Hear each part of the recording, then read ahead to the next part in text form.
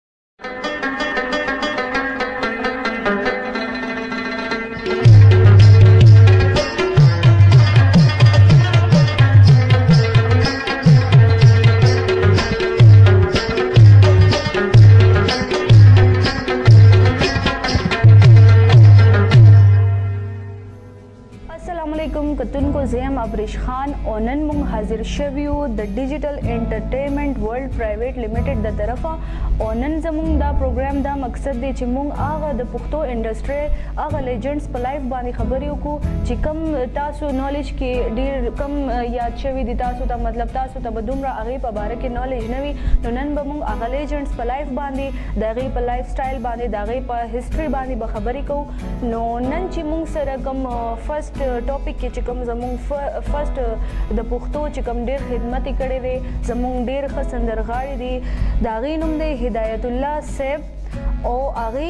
چې کوم دی نو هدایت الله صاحب چې کوم دی نه د پښتو موسیقي په دنیا کې ډیر ځلاند ستوري دي په کال 1947 کې د نوخار ضلع په بو سره د نږدې ډاګ په سود کې پیدا شوی دی د ورکوټي والی نه د غي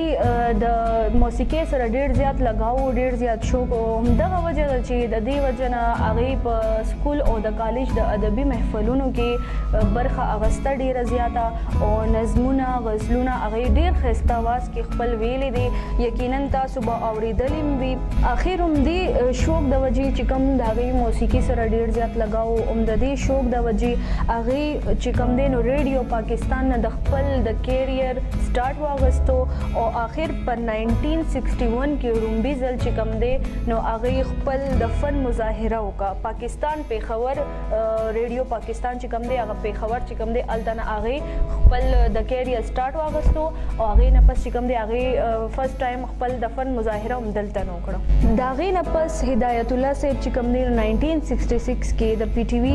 په مختلفو موکو باندې د خپل فن مظاهره کړې ده او یقینا مطلب ډیر هغه دا خدمتونه د پښتو انډستری لپاره کړې دي او چې موږ ډیر زیات هغه عزت کوو او یقینا په هر موقع باندې د عوامو داد ترلاسه کړی دی او بیا په 1968 کې د پښتو رومبي فلم یوسف خان او شیربانو سندرې وویلې او یقینا چې هغه یوسف خان او شیربانو سندرې چې کم دینو په عوامو کې ډېرې مقبولې شوې او یوسف خان شیربانو فلم بیا په 1971 کې ریلیز شوی دی او همدغه وجه ده چې د خپل فن په حواله ورته د ښه کارکردګۍ په بنا صدارتي ایوارډ ملاو شوی دی دغه وجه ده چې پاکستان ټلویزیون نه هم ورته ډېر ایوارډونه ملاو شوي دي خیال محمد صیب میډم کشور سلطان او میډم معشوق سلطان میډم ګلنار بیګم میډم ریحانه یاسمین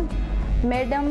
ماجبین قزلباش سره هم په شریکه نغمې او سندرې ویلي دي او د دې نه علاوه په اګریکلچر ډپارټمنټ کې سرکاري نوکري هم کړې ده او اوس ریټایرډ شوي دي نن سبا ډیر بیمار دي بس دعا ورته کوئ چې الله یې ډیر زر ښه کی. نو دا او نن زموږ چې کوم پرسنلټي هدایت الله صیب هغه په ژوند باندې د هغه په فن کارکردګي باندې موږ خبرې وکړي امید لرو چې تاسو به د دې پروګرام نالج به اغستې وي د هغه په ژوند په باره کې امید لرو چې ستاسو به خوښ شي د الله په امان ما ته راکړي اجازت الله په امان